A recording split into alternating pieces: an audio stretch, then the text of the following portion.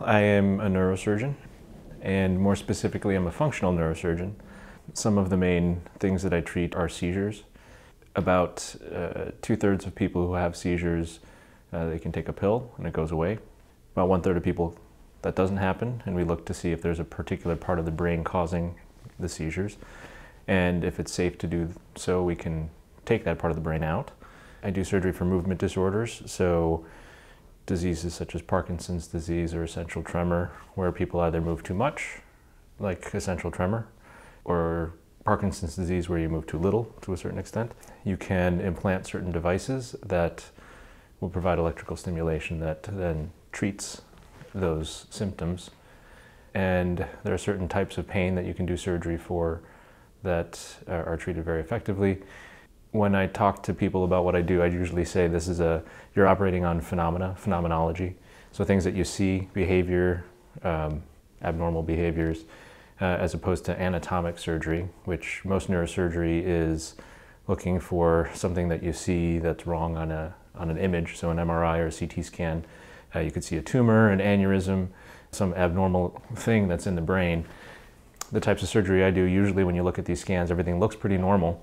Um, and so you're actually operating on something that you see in their behavior, and that's what makes it functional neurosurgery. Most of these surgeries are not life-saving. If somebody says, no, I don't want a deep brain stimulator for my Parkinson's, if it would help them, you tell them, like, it would help you. Uh, you still have patients who say, oh, well, you know what, you're gonna drill a hole in my skull, that's, that's too much risk for me. Um, oh, well, you know, the complication rate is such and such, it's very low complication rate of you just having your Parkinson's is almost the same. You know, in terms of the number of times you go to the hospital because of your disease, with or without the surgery, it's going to be about the same. With the surgery, your quality of life will be better, et cetera, et cetera. Some people just still say no, and you're not going to talk them into it. You're not going to say like, yeah, you need this.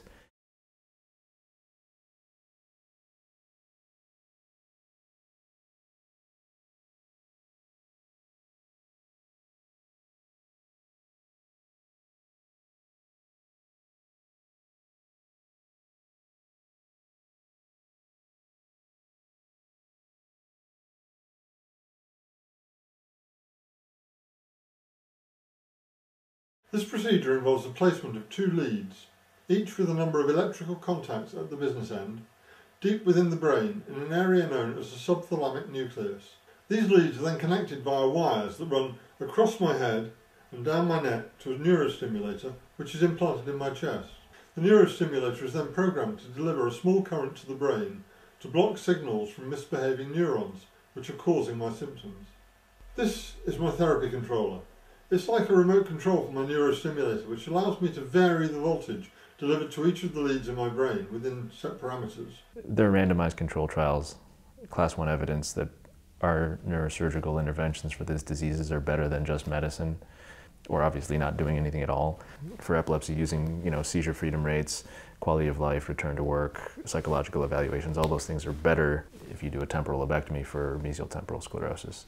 Same with movement disorders, you know, for your Parkinson's patients. If you look at their motor outcomes, you look at their um, quality of life and level of daily activities, those assessments are all better if you do this surgery. and yes, you have the counterbalancing, yes, you have to go through surgery, it's expensive, et cetera, et cetera. At the same time, there's that discrepancy for what people expect to happen and what we expect to happen. And so when I talk to patients before these types of surgeries, my main goal is to try to get them to expect the same things that I expect. So they come in and they have, these are very disabling diseases, their lives are not good. Um, you make them better in some ways. Flashing display shows that my DBS is switched off. I'll switch it on by pressing the grey button again.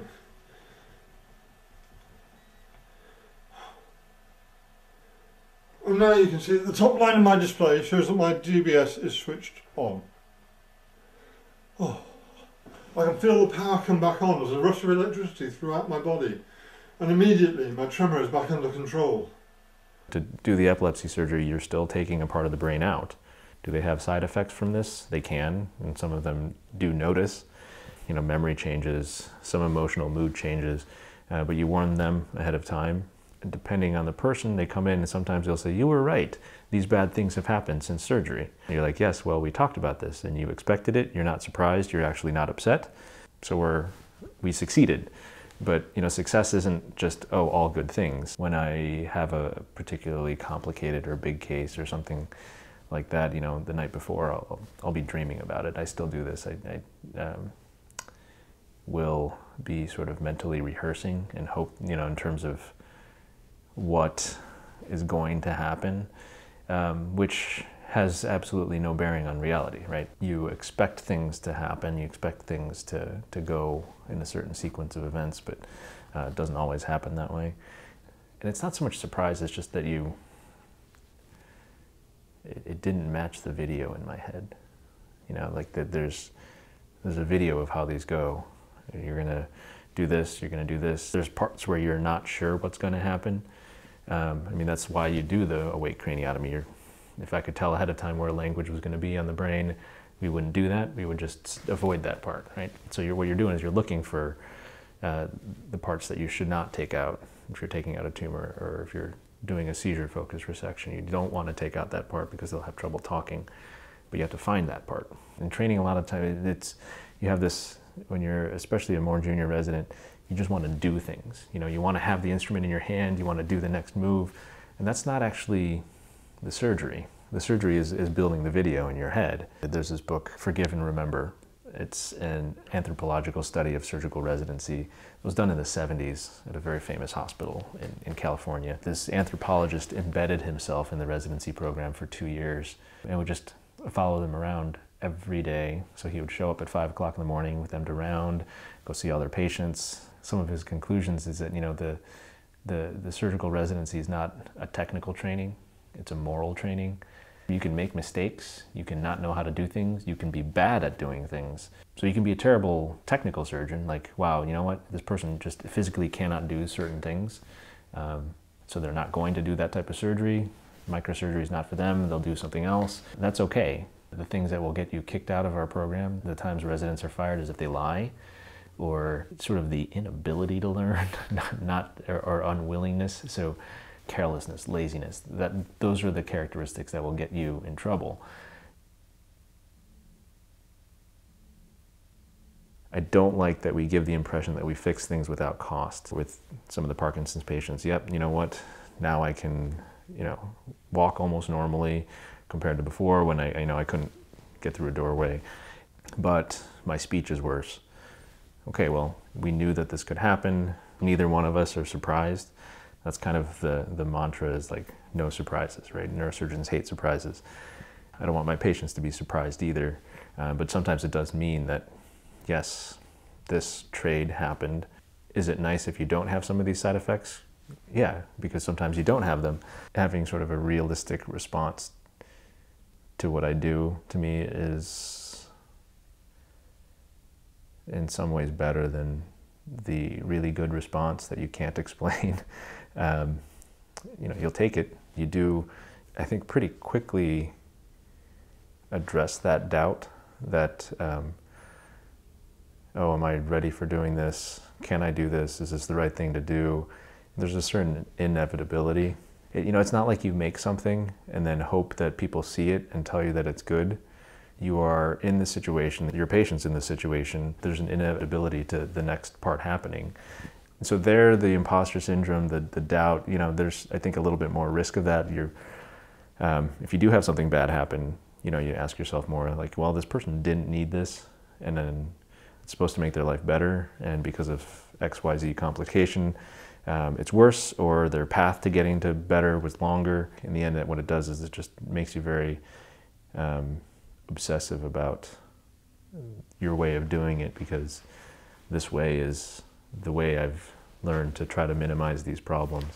Three is the most important number in neurosurgery, so everything has a rule of threes. For epilepsy, two thirds of patients are not medically intractable, so you give them a pill, their seizures stop. One third isn't. And if you do an epilepsy surgery, a temporal lobe, there's three steps. You open, you take out the temporal lobe, you close. Each of those three steps has three steps. So opening, you open the scalp, you open the bone, you open the covering of the brain. Each of those has three steps. So if you're opening the scalp, you make your skin incision, you cut the temporalis muscle and you elevate the flap. That's how I think about almost anything that you do is, you try to break it everything down so that um, when you're doing one thing, you know what the next step is going to be. Something that's helpful is you know your training is a pretty long time, seven years after you've already completed graduate school. You do so much um, repetition of particular tasks that a lot of that uncertainty goes away. You know the whole Malcolm Gladwell 10,000 hours thing. You know I calculated back well, how many hours do I spend doing this, and you get pretty close by the time you finish training, which I think in his intended use of it, the training part doesn't even really count, right? It's the time that you're doing it. You know, you do these spine surgeries where the incision's this long. Um, it takes you a half hour, 45 minutes to close up all the layers, get the skin closed again. And I used to time myself. I would count how many stitches I put into each layer as we close, so I knew how long it took me to put a stitch in and tie the knots and all that. And I, I could tell, you know, for fascia, it's 15 seconds per stitch. I know it takes me 10 seconds to close an incision this long. Um, I know how many moves it takes. So when you do this, you pick one end up, you put the needle through, advance the needle, go to the other side. And it sounds kind of obsessive, compulsive, all that. But I like that. So that's a part of the drive. I know one colleague had somebody come in to film him doing surgery so that he could watch later and try to get rid of inefficient movements. But I think, again, if, if you're very good at something, I don't think that that's that unusual. I was a philosophy major in college and university, so you know, the philosophy of mind questions were always particularly, I guess they were particularly interesting and irritating to me at the same time. You know, the, the question like, okay, if you could duplicate your personality right now and transfer it to another body, which of those is you? it's like a ridiculous question to me, right? Um, and I think that was from before doing the neurosurgery. that was just some of these thought experiments make no sense. Why are we thinking about that? Um, and that's sort of the analytical, like Western European philosophical stuff. Um, the more Eastern stuff, oh, reincarnation, like that, we're not even going to start with because that's a different question. I did a fair bit of, you know, the, the, Foucault, Derrida, postmodern continental stuff where your notion of personal identity is a social construct predicated on maintaining the patriarchy. Th those, those approaches all, just seem silly. Partially, you know, when you're working on somebody's brain, you can answer a lot of those, like, well, is, is your personality physical? Well, yes, because if I put this someplace, that personality is going to be gone. Um, that seems a pretty straightforward argument for like the physical nature of uh, the psyche. and then it also kind of makes the whole like, well, if you could copy it onto a heart, just, you know, we're so far from that. To get to that question about how has this impacted my, my conception of the psyche or the soul, um, I, I think on one hand, it's makes it more magical because look, we have you know, I can see the physical substrate of it. There's nothing special about it. It's yellowish. There's, it's very soft.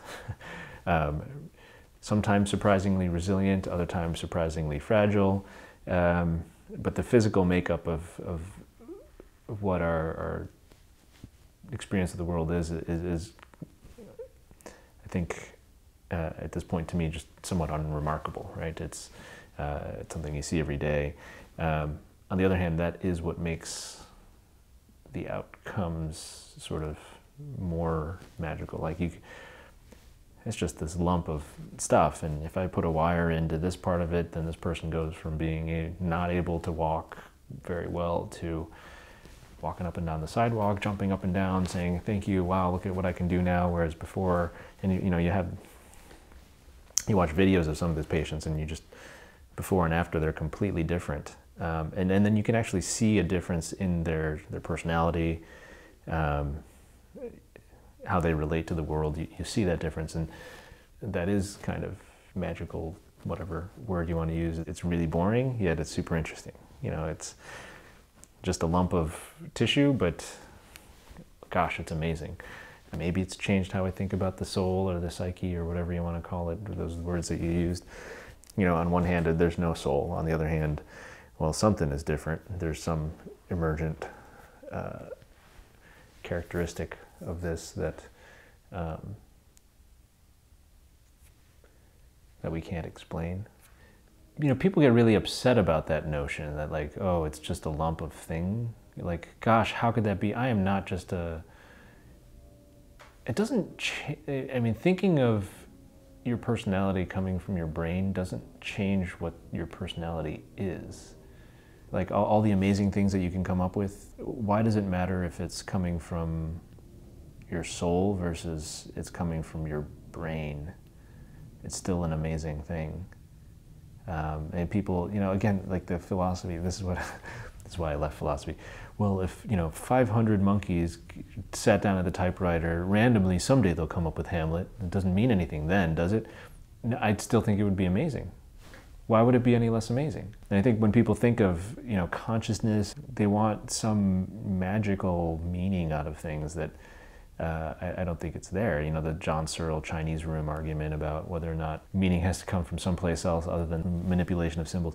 You know, if you ever get to that point where these thought experiments are, are, trying to describe, like, yeah, you have a manual that describes all the intricacies of the Chinese language, and then there's a natural speaker outside that can't tell the difference. Does that mean the man in the room speaks Chinese, or does it mean the room speaks? I'd say yes, it does. Um, I know the intuition pump is trying to make you say no, it doesn't. But to me, my intuition is yes, it does, because I think that's how our brains work.